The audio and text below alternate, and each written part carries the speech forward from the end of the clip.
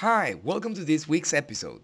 I have downloaded a fresh Blender 2.79 release Candy 2 and I want to show you a couple of nifty features about the grease pencil and store camera views. Let's get started with a scene I prepared with a T-Rex primitive. I created many different layers with strokes and fill colors. You can see that on the lower part of the N panel at your right hand. On your left side T panel you will find more settings for grease pencil like thickness and sensitivity. If you really want quality on your strokes, please set smoothness and iterations to 3. Make sure you have checked continuous drawing on your T panel. And then press the letter D on your keyboard to start drawing on your viewport.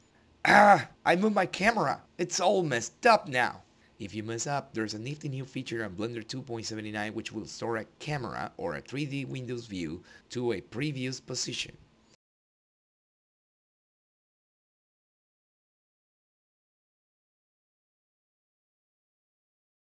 Choose POV and save current, rename the view and click on the box icon.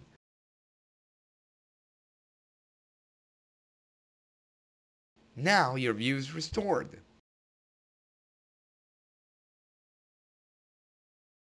Did I mention Blender does pick up your tablet strokes as smoothly as any regular 2D drawing application?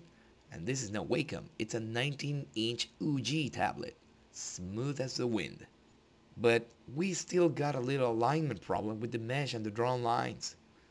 So let me drag and drop my grease pencil layer onto an empty parent. Nope, doesn't work. To parent a grease layer, you have to go to the debone option under grease layer panel and select the object you want to parent the layer with. This is how you can animate bones to affect your grease layers. Pretty nifty. I won't get into animation in this video, but let's refine this beast.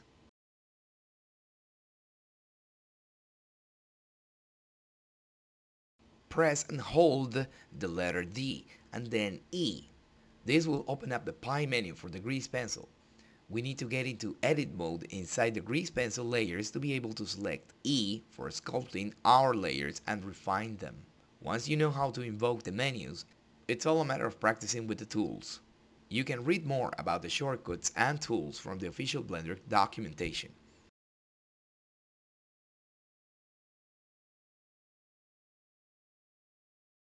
Now wait, I know what you're all thinking.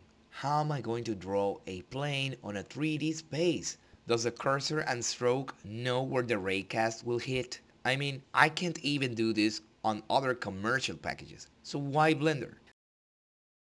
When you work on your stroke and color layers, make sure to name them. Left color is stroke, right color is fill.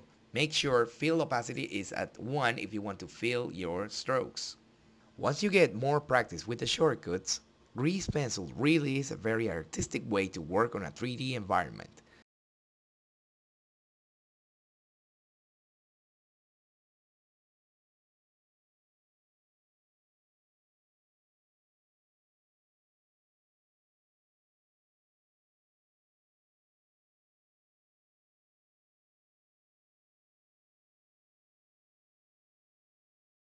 Blender 2.79 has even more awesome features as add-on and implemented options like the new denoiser and filmic profile colors, which will really give Blender a boost for your work.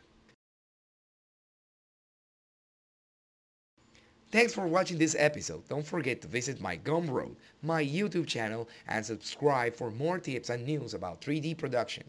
I really love to jump cut long explanations, don't you? Leave your comments below. Thank you.